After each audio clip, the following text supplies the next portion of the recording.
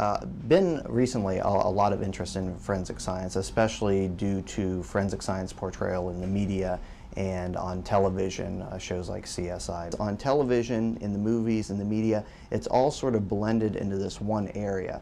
Whereas in reality, forensic science is sort of separated in the investigative side of forensic science and the laboratory side of forensic science. The forensic scientist mainly stays in the laboratory and conducts their work from the laboratory.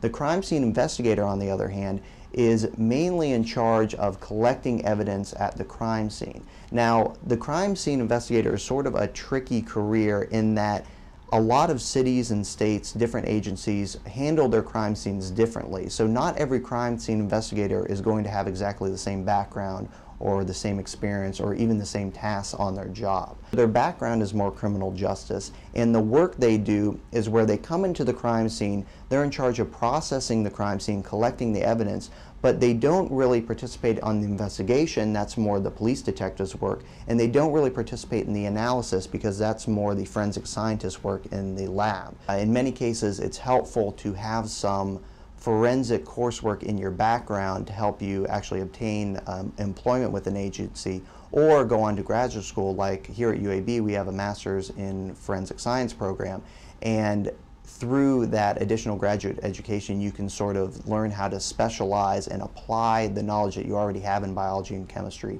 to the forensic field.